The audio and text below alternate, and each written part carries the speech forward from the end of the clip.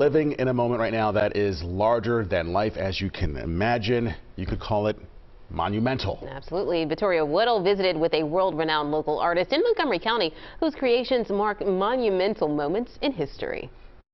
One of the wonderful things about this job is it's very tedious working sometimes, and it's hard work, and especially if it's large. But um, I get to meet people like Mike Schmidt, great at what they do. Zenos Frudakis is known as the Monument Man. This is going to be 10 feet. And for the last 50 years, in his 250-year-old barn with 100-year-old clay, he sculpted heads. This one I like, of Amelia Earhart. Heroes and the Hall of Famers you've seen standing at Citizens Bank Park, like his bronze Mike Schmidt, Steve Carlton, Richie Ashburn, and his black and white Robin Roberts. I told him instead of patina in it, patina means the colors, I wanted it to be black and white because it's a reference to his time. It's kind of a visual biography. You're trying to give someone the sense of, they're not going to get to meet Mike Schmidt personally. What's it feel like to to be next to him. He can go inning after inning with stories about sculpting these Philadelphia greats. Uh, Robin Roberts posed downstairs, as did Mike Schmidt. And Robin Roberts was, I think, 80-something years old, and he got down in a pitcher's pose. And,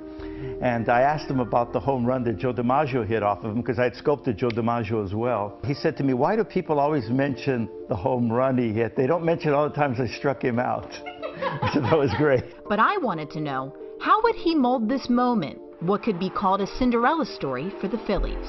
What's the big idea? Their unity as a team. The way you see them go back to the dugout and how they hug each other and they're breathing each other's uh, successes. So I would probably make an almost uh, a puzzle that's, that starts small, gets larger, and each one of the puzzle pieces would have one of the players that without that player, it might not have happened. So what will happen next? Let's not get ahead of ourselves. We'll just have to wait and see. Vittoria Woodill, CBS 3 Eyewitness News.